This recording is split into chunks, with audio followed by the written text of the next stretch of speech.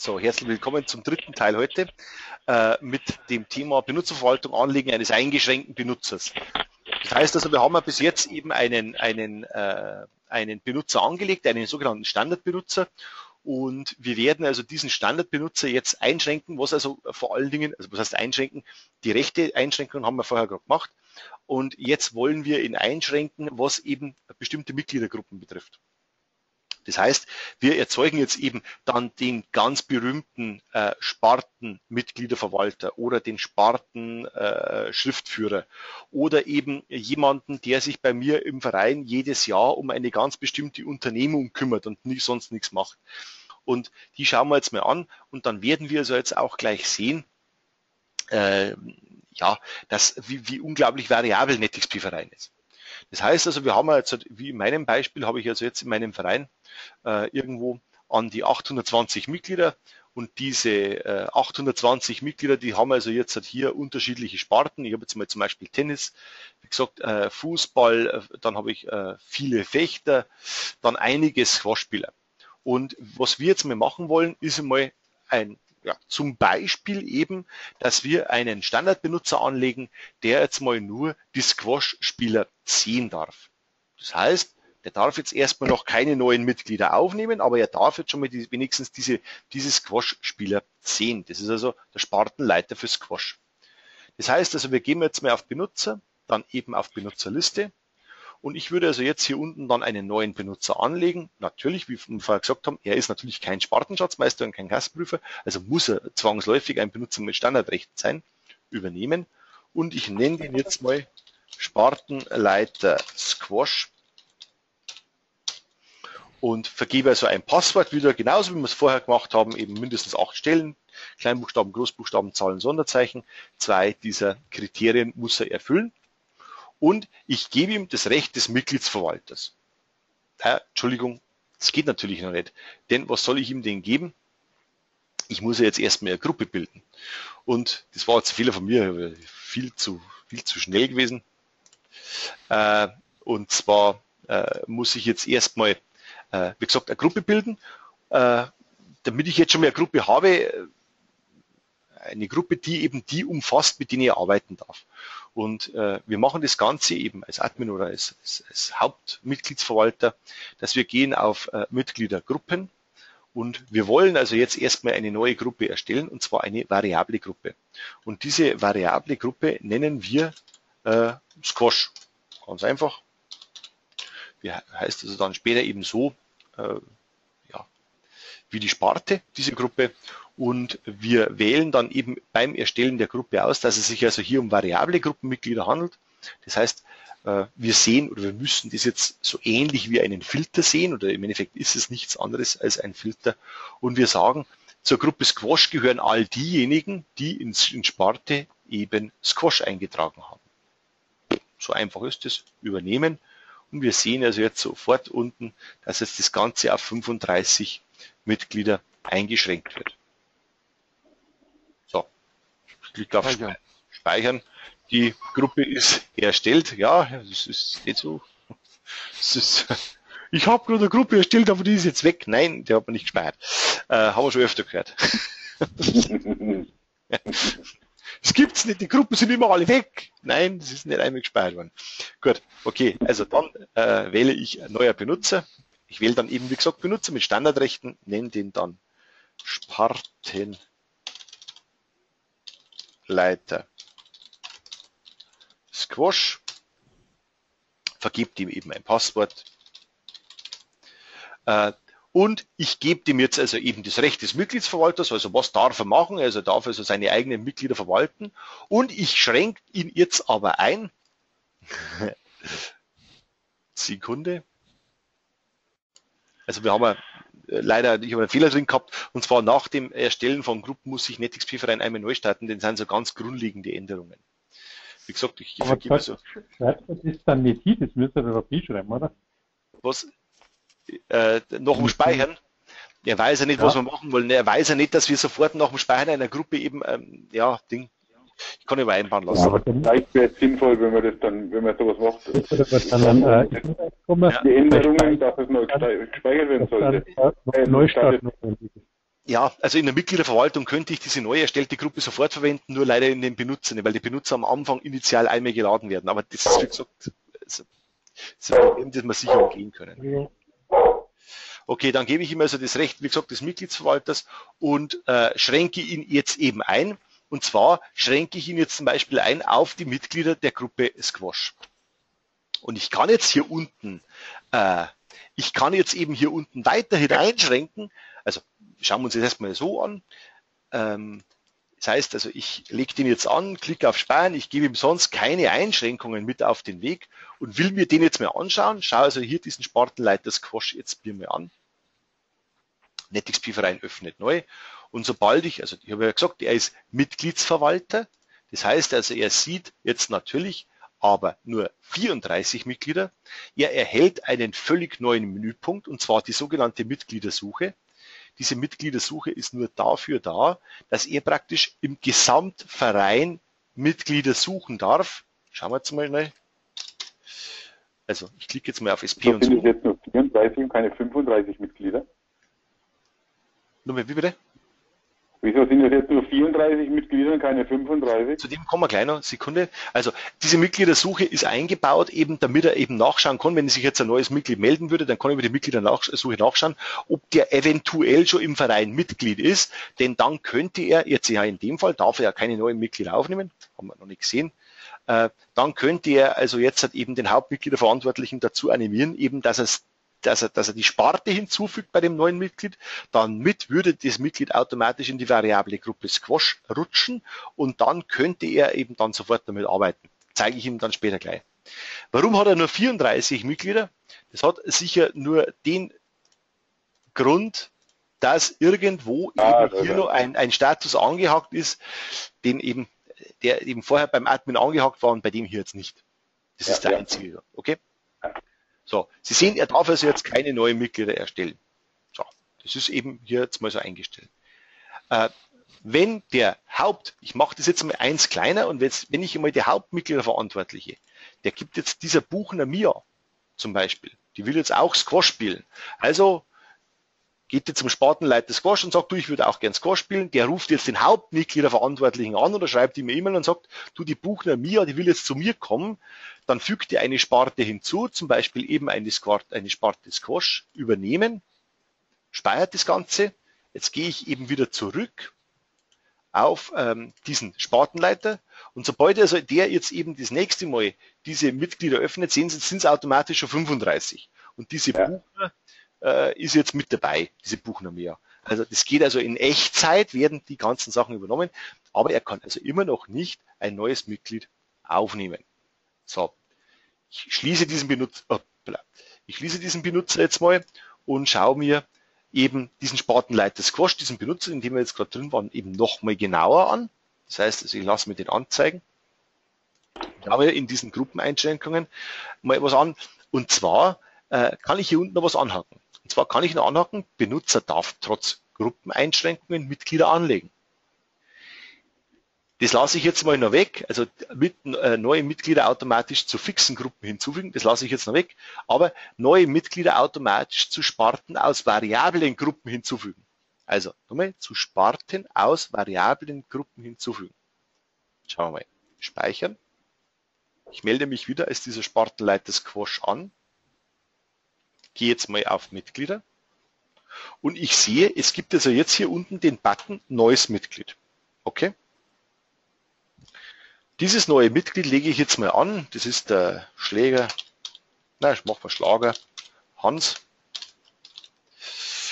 Das ist völlig wurscht, der ist Mitglied seit heute und hat keine Adresse, hat keine Kontodaten speichern. Und Sie sehen, ich brauche nichts machen, der hat jetzt sofort Squash eingetragen.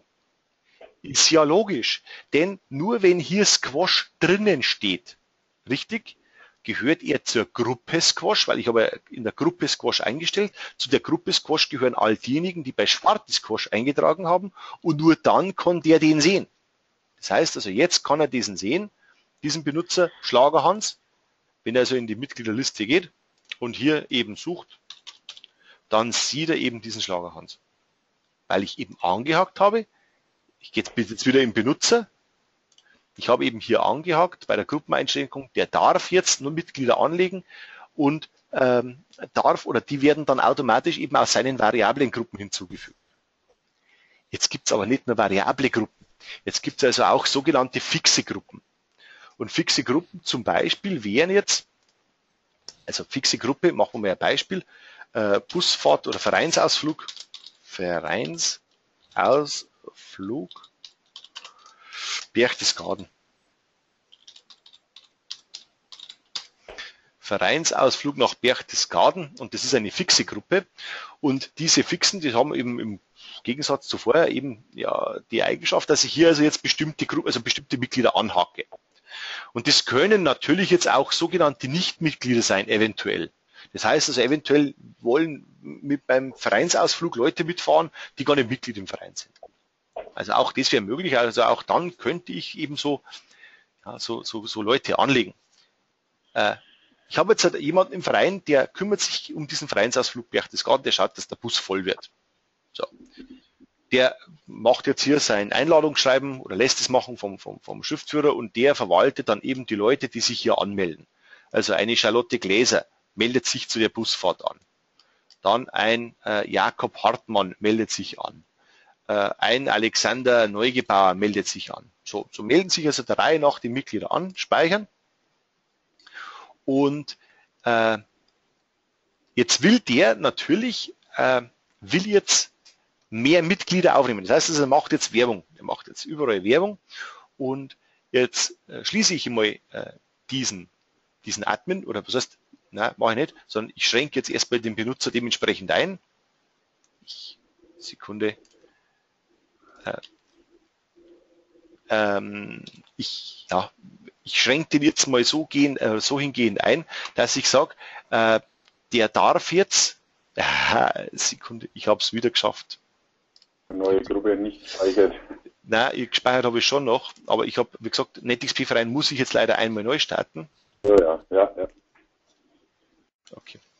Okay, also ich habe jetzt das NetXP-Verein einmal neu gestartet und jetzt kann ich eben den Benutzer, eben, es jetzt blöd ist, ist wurscht, Spartenleiter Squash, den soll ich mir jetzt mal anzeigen und dem gebe ich jetzt mal zusätzlich, na, jetzt mal nur diese Gruppe Vereinsausflug Berchtesgaden und ich lasse zu, dass er neue Mitglieder automatisch zur fixen Gruppe hinzufügen darf. So, klicke dann auf Speichern und melde mich jetzt mal als der an und jetzt sehe ich natürlich, die Squash habe ich ihm genommen, die sehe ich nicht mehr, aber die drei, die ich ihm vorher gegeben habe. Und er darf also jetzt zum Beispiel Mitglieder erschaffen. Machen wir mal Steiger Max. Und das ist mir eigentlich auch als Wurst, also Mitgliedszeit eben heute.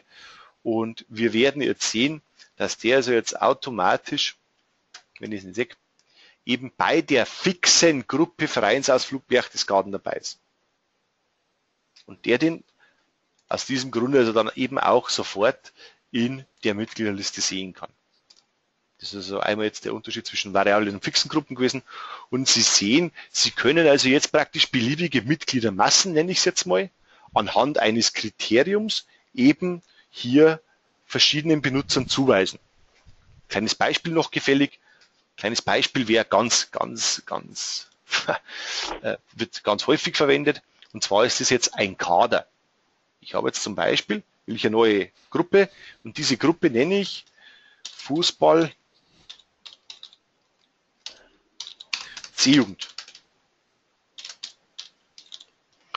Das sind variable Gruppen und das sind alle die, die in Sparte Fußball eingetragen haben, übernehmen und, jetzt muss ich schon überlegen, 16,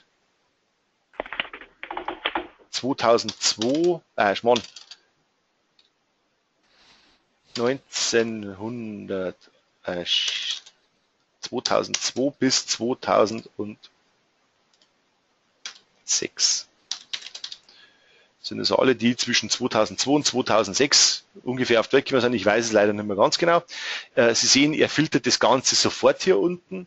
Ich klicke auf äh, Speichern, also der, der, Fußball C-Jugend sieht jetzt all diejenigen, die in Sparte Fußball eingetragen haben, Jahrgang 2002 bis 2006 haben, speichern.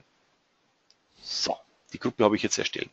Jetzt gehe ich in der Benutzerliste, klicke auf neuer Benutzer, sage eben wieder Benutzer mit Standardrechten übernehmen, ich nenne jetzt mal einfach nur der Geschwindigkeit halber Fußball und das habe ich vergessen, Neustarten. Okay, also wie gesagt, ich habe leider den Neustart übersehen, aber den haben wir jetzt nachgeholt und äh, wie gesagt, ich lege jetzt einen Benutzer an, mit Standardrechten übernehmen, nenne jetzt Fußball, äh, gebe ihm Mitgliedsverwalter und von mir aus noch Kommunikator, dass er also seinen Jungs eben E-Mails oder Briefe oder SMS schreiben kann, äh, gebe ihm dann noch die Gruppe Fußball C-Jugend mit, lass ihn keine neuen Mitglieder anlegen, denn das ist also in dem Fall definitiv also eher eine Frage des Haupt, äh, des, des Hauptverantwortlichen, des Hauptmitgliederverwalters oder des Spartenmitgliederverwalters.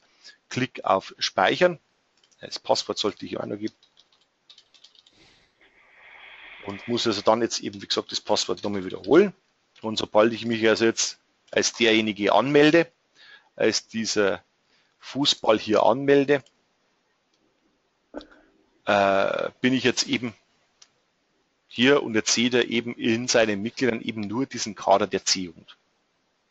Sobald, zeige ich Ihnen mal ganz kurz 54 Mitglieder. Jetzt muss ich mal schnell schauen, dass wir so ein Mitglied hinzufügen. Äh, also der müsste ungefähr 14 Jahre alt sein. Also Sicherheitshalber 15. Nein, Schmarrn. Sicherheitshalber 13, so ist bis einschließlich 13. Und lasst mir ihm jetzt mal eine Sparte na, der hat schon Fußball mit den nächsten. Der, hat noch keinen Fußball. Uh, Ulik Lilly, die darf jetzt halt in der C-Jugend Fußball spielen, das ist ein bisschen komisch, aber ist wurscht. Uh, der geben wir also jetzt noch Fußball übernehmen, speichern und schauen wir uns also dann eben diesen, diesen äh, Verwalter an. Der hat jetzt 54 und wenn er das nächste Mal auf Mitglieder geht, dann hat er 55 und weiß gar nicht, wie ihm geschieht. Also so ist es eben mit diesen Kaderverwaltungen. Das ist ganz praktisch, das machen unglaublich viele Vereine für uns und äh, sind es auch, was, was ich bis jetzt so mitbekommen habe, sehr erfolgreich und denen gefällt es recht gut. Denn äh, warum soll ich dann hier einem Trainer eben nicht die Möglichkeit geben, auf bestimmte Mitgliederdaten zuzugreifen? Äh, vor allen Dingen eben ist es so, dass also ein Trainer eben am schnellsten erfährt, wenn sich jetzt zum Beispiel die Handynummer von einem A-Jugendspieler ändert. Und der ändert es hier natürlich und dann darf er also hier also das Ganze natürlich auch für den Gesamtverein ändern. Was ich ihm eventuell nicht geben würde, die Kontodaten, aber wie gesagt, auch das ist kein Problem, denn ich würde also jetzt in der Benutzerliste eben auf diesen Fußball gehen, anzeigen lassen und würde den jetzt halt eben einschränken, würde sagen, du darfst alles sehen, aber die Kontodaten darfst du nicht sehen. So, speichern, Lücke mehr als Benutzer einloggen.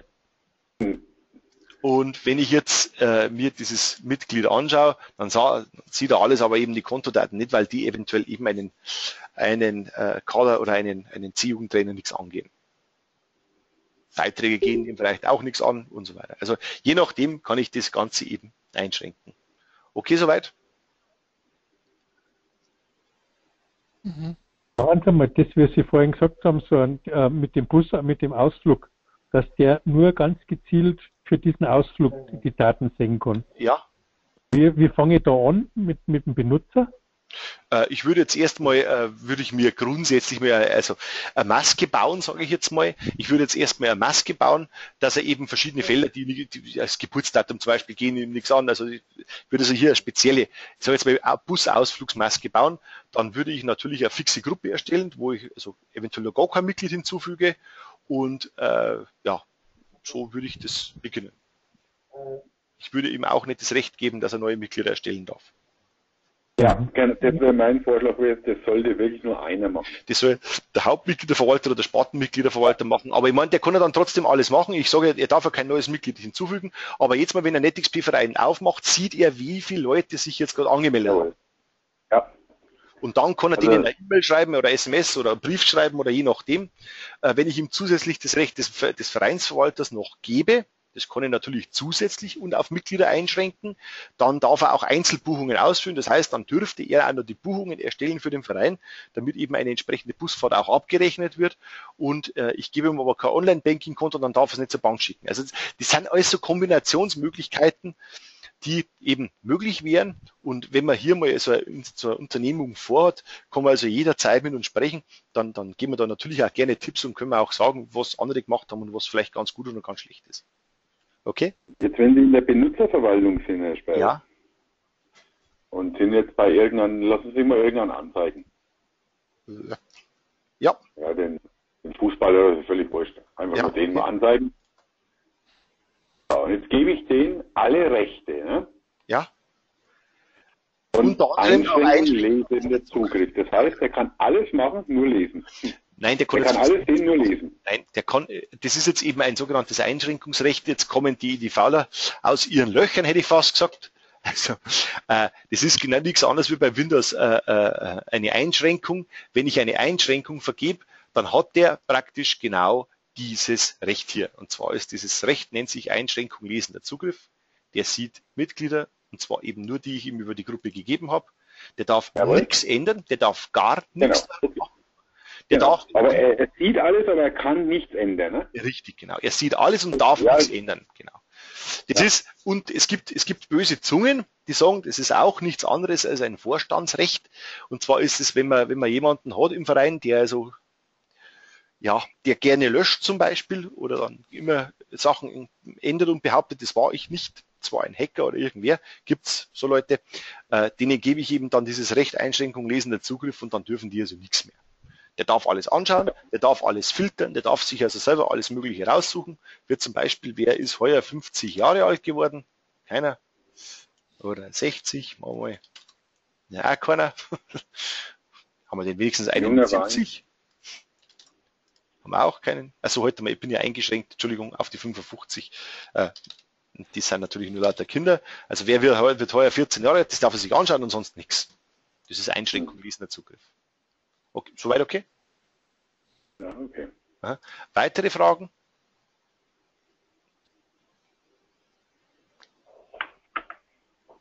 Hm.